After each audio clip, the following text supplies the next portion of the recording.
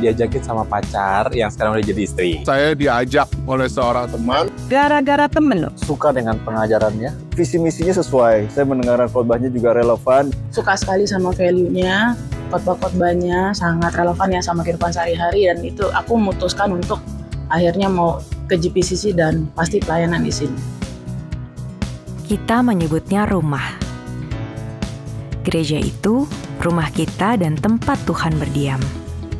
Kita lahir baru di rumah ini. Sama-sama datang apa adanya, tapi bukan untuk menjadi sama selamanya. Karena kita berproses, berkomunitas untuk semakin serupa Kristus. Excellent. Excellent relevan. Spirit led. Undering. Maturity. Spirit led. Spirit led. Itu excellent. Mature ya. Mature. Relevan. Uh, spirit led, mature, Spirit lab. Undering. Spirit led. Selalu memberikan yang terbaik dari yang kita miliki. bukan cuma memulai tapi sampai akhir dan semuanya tuh harus yang terbaik. bagaimana kita terus belajar untuk menjadi lebih dewasa supaya orang-orang yang di sekeliling saya itu bisa merasakan Tuhan juga pada akhirnya. Karena tanpa bantuan dari Roh Kudus, kita nggak bisa melakukan ini semua. Karena eh, hidup dipimpin Roh Kudus itu pasti semuanya itu value-value JPC yang lain itu pasti akan ikut. Roh Kudus yang menuntun langkah kita, sehingga terang pikiran dan jernihlah hati kita. Kuasanya itu memampukan untuk mengasihi di segala kondisi, meninggalkan kekanak-kanakan, dan memilih kebenaran.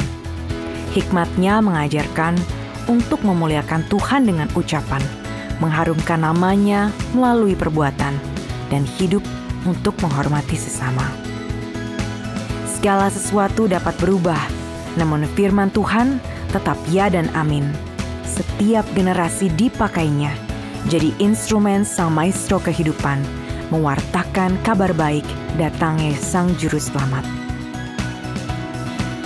Yesus Tuhan kita, Yesus kepala kita, kita gerejanya dan kita tubuhnya. Berdiri bagi dia dan bangsa-bangsa, gereja lokal dengan dampak global.